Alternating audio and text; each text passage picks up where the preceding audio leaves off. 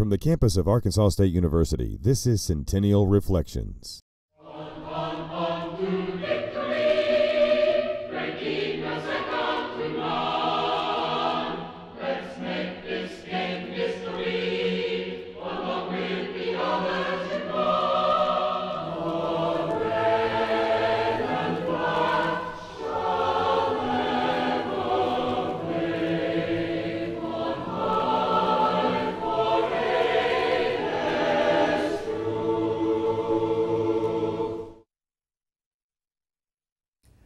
The Centennial Moment series explores ASU history from its start as an agricultural district school to the multifaceted university it is today. Hello, I'm Rich Carville, host for this series, and our guest today is Charles Rasberry, former chair of the Department of Radio TV, an Arkansas State grad, uh, native of, uh, of Paragould. Um, Charles the radio TV department at Arkansas State University uh, is one of the most well respected in the state and the, and the Mid South of the nation. How did this all get started? Well, Rich, uh, you, you, really have to credit Dr. Carl Reng, who uh, I think was a real visionary, and uh, he he sensed, and of course, Dr. Reng was the president back in the 50s and he sensed there was a need to be able to promote Arkansas State, not only in this region, but around the state of Arkansas. And one of the best ways to do it would be to have its own radio station.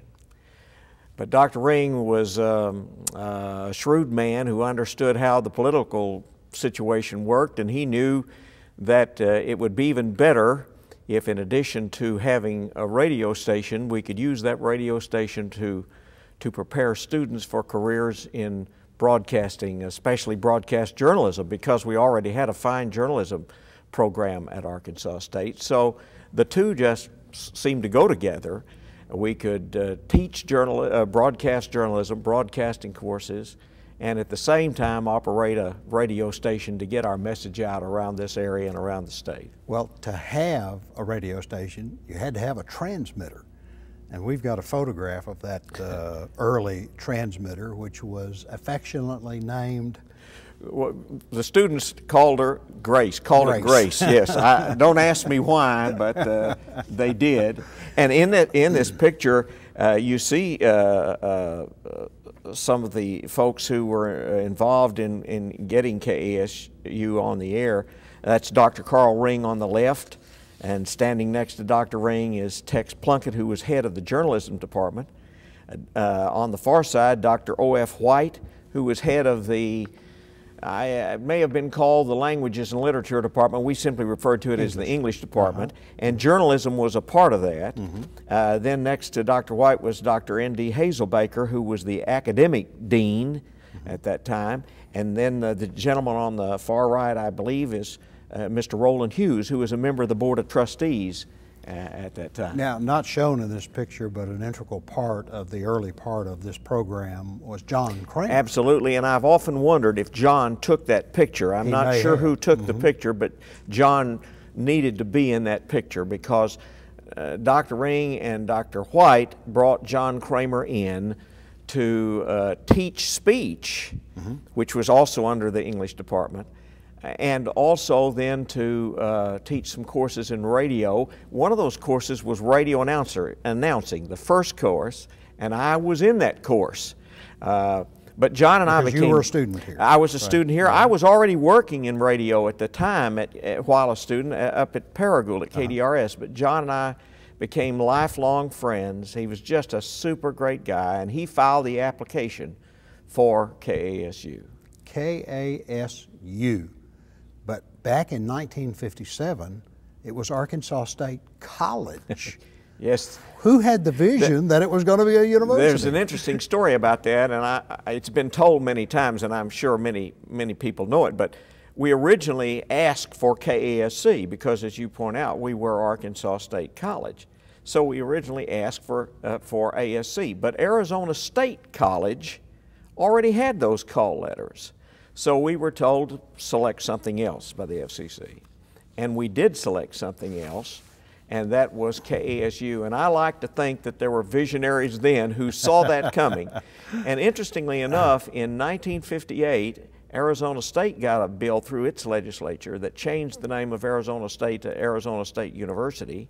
And they wrote and asked us, uh, they said, We know you were interested in KASC.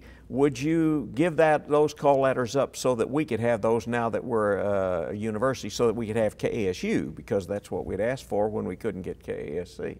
And we said, Thanks, but no thanks. and that turned out to be a very wise decision. Uh, another picture that, uh, that we want to look at features uh, uh, a great piece of equipment, a portable recorder, because it had a strap on it and you could carry it around with you. And uh, how did that thing operate? And who are these guys in this well, picture? It, it, this is Cletus Stanfield, a, a, student back in the uh, late 50s, I believe. Mm-hmm and he's interviewing Dr. White, who the head of the English department. And I'm not certain, since I'm not looking at the other side of that, but I believe that was a wire recorder. And when I came to Arkansas State, back to ASU uh, as a member of the faculty in in 1961, I found that wire recorder. It was still available. Now, I don't know whether it was still working then because we had moved to tape by that time.